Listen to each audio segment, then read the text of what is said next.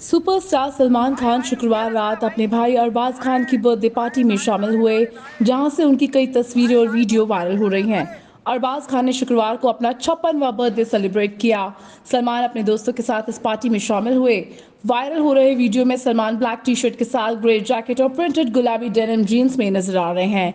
Black जूते और silver watch में भाईजान काफ़ी डैशिंग लगे। सलमान के फैंस अब उनके इस लुक को बारबी से इंस्पायर बता रहे हैं। फैंस ने कमेंट में लिखा भाई जान ये बारबी से इंस्पायर पैंट है क्या? वहीं किसी और फ़ैन ने लिखा, वो अकेले ही बारबी ओपन हाइमर को प्रमोट कर रहे हैं। बता दें कि सलमान फ़िलहाल Bigg Boss O T T two की होस्टिंग में बिज़ी हैं, जो जियो सिनेमा पर स्ट्रीम हो रहा है। हाल ही के वीकेंड के वार पर सलमान ने बताया कि कैसे उनके फैंस उनकी सबसे बड़ी ताकत है और वो उन्हें बिग बॉस के सेट पर वापस आने के लिए प्रेरित करते रहते हैं। उन्होंने कहा कि मेरे फैंस मेरी सबसे बड़ी उपलब्धि और गौरव है। मैं जो भी कुछ हूँ, उन्हीं की वजह से हूँ।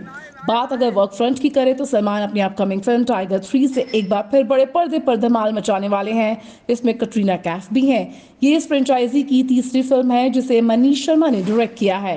फ़िल्म को इस साल दिवाली के मौके पर हिंदी के अलावा तमिल और तेलुगु भाषा में भी रिलीज़ किया जाएगा। इस तरह की सारी बॉलीवुड अपडेट्स जानने के लिए आप हमारा चैनल सब्सक्राइब करना ना भूलें। Please press the bell icon and do share and like our videos